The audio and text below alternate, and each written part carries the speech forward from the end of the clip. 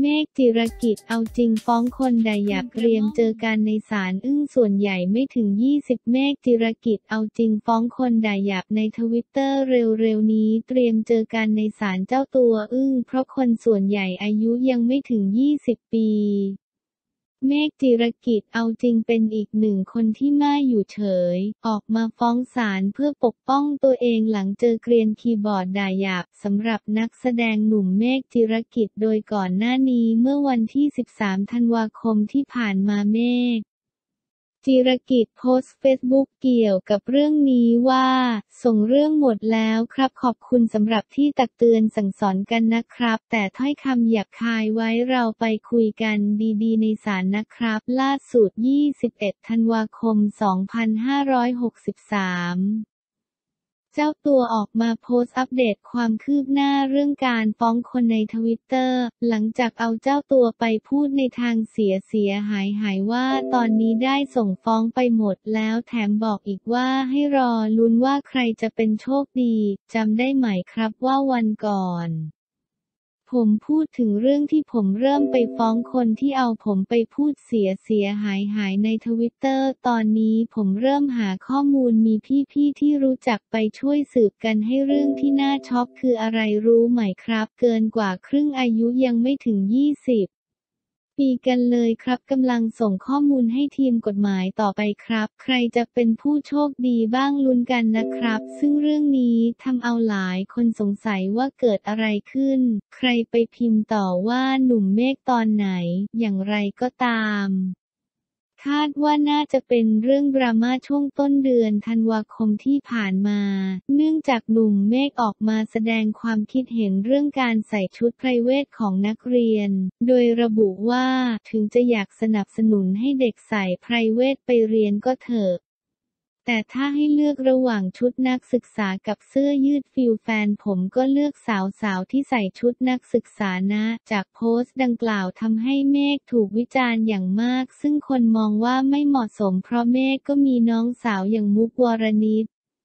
แต่กลับมีความคิดแบบนี้กับผู้หญิง จนเจ้าตัวต้องลบโพสต์ทิ้งมอเมฆจิรามุ้งมิงครับเมฆจิรกิจแจงเป็นข้อข้อปมคนจับจิ้นน้องสาวมุกวรณิตลั่นไม่เคยเห็นดีเห็นงามด้วย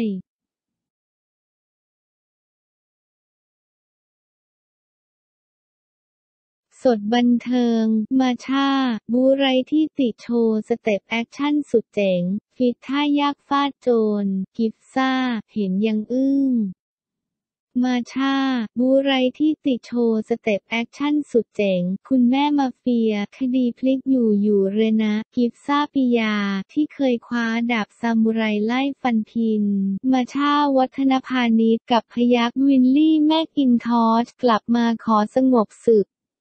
กอดกระชับมิตรซะงั้นเอกหรืองานนี้จะมีอะไรเพราะหลังจากนั้นเรนาก็ถูกลอบทำร้ายคิวนี้ผู้กำกับลาพีรพล ให้มาช่าและกิฟซ่า โชว์ศักยภาพแอคชั่นอีกครั้งแต่รอบนี้ไม่ได้ตีกันเองอย่างในฝัน อทั้งคู่มาถึงกองก็มาดูคิวบู๊ของทีมสตันท์เป็น guideline ก่อน ถึงให้สองสาวยืดเส้นยืดสายซ้อมสเต็ปตัวเองไปทีละท่า โดยเฉพาะกิฟซ่าที่ขอซ้อมเยอะหน่อยก่อนถ่ายจริง ทั้งคู่มาทบทวนท่าทางการต่อสู้กันเบาๆ อีกรอบเพิ่มความมั่นใจพอผู้กำกับสั่งแอคชั่นคนร้ายสามคนก็บุกกระชากคุณหนูมาเฟียมาตบกิฟดิ้นรนสุดชีวิตทั้งเตะทั้งถีบถึงจะเก่งระดับมาเฟียแค่ไหนก็สู้ผู้ชายร่างใหญ่ไม่ได้อยู่ดี สุดท้ายถูกตุยท้องบีบข้อกดลงนอนกับพื้น ผู้กำกับปลาให้คิวมาชาปล่อยของวิ่งเข้าใส่คนร้ายที่รุมกิฟซ่าอยู่เปิดพิธีด้วยกระโดดเข่าลอยเสยปลายคางพี่โจรซะหน้าหงายตามด้วยหมัดฮุกหมัดแยบชนิดที่คู่ต่อสู้ไม่ได้พักหายใจ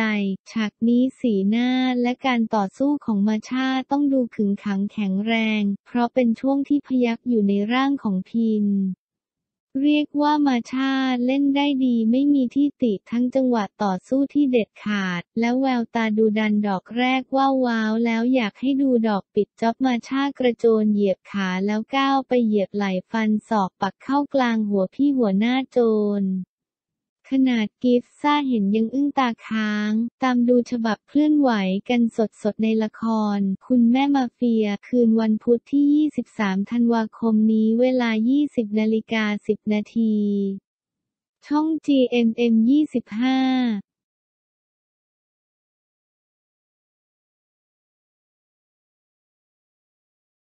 หวานทุกเทศกาลแต้วควงไฮโซในสวมเสื้อคู่คริสต์มาสของขวัญไม่ต้องฝ่ายชายเป็นให้แล้วหวานทุกเทศกาลแต้วควงไฮโซในสวมเสื้อคู่คริสต์มาสของขวัญไม่ต้องฝ่ายชายเป็นให้แล้วหวานทุกเทศกาล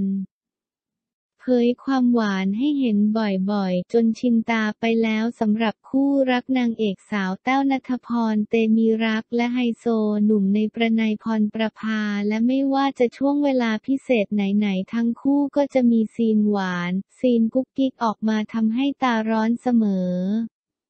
ล่าสุดทั้งคู่ได้เผย moment น่ารักอีกครั้ง โดยหยิบเสื้อคู่คริสต์มาส Dear Santa จากแบรนด์ Vatanika มาสวมใส่โดยแต้วเขียนแคปชั่นว่า is you พร้อมอีโมจิรูปของขวัญที่ดูก็รู้ว่าเธอหมายถึง ของขวัญวันคริสต์มาสนี้ก็คือคุณนั่นเอง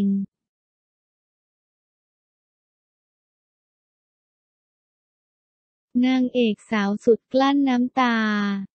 ฟ้าร่ำไห้เผยเหตุเลิกเฟิร์ส Slot Machine ตัดใจบอกเลิกนักร้องหนุ่มนางเอกสาวฟ้าษริกาเปิดใจทั้งน้ำตาเผยเหตุผลยุติความสัมพันธ์เฟิร์ส Slot Machine มีมือที่สามคงตัดใจง่ายกว่านี้ นางเอกสาวฟ้าษริกา